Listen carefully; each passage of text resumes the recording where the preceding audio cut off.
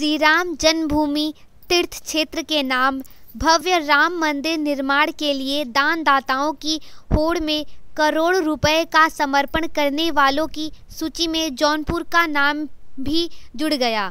ज़िले के गोधना निवासी उद्यमी ज्ञान प्रकाश सिंह ने आरएसएस के क्षेत्र प्रचारक अनिल जी, प्रांत कार्यवाहक मुरली पाल को एक करोड़ इक्कीस लाख का चेक सौंपा और संकल्प दोहराया।